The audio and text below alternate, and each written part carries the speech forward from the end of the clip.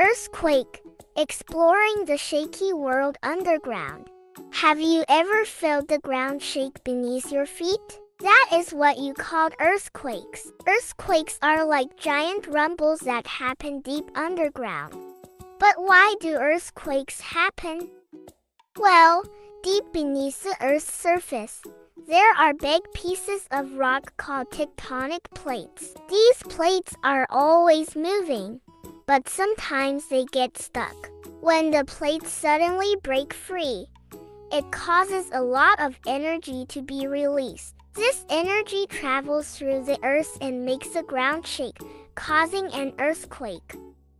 Earthquakes can happen anywhere in the world, but they're most common along the edges of tectonic plates. This is where the plates meet and sometimes collide or slide past each other.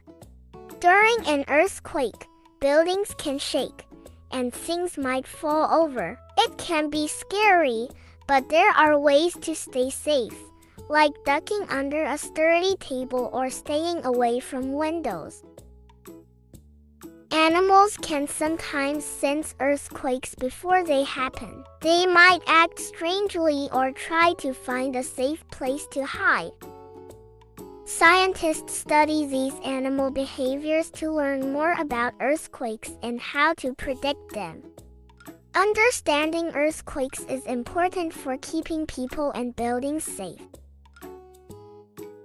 Scientists use special tools to measure earthquakes and warn people when they might happen.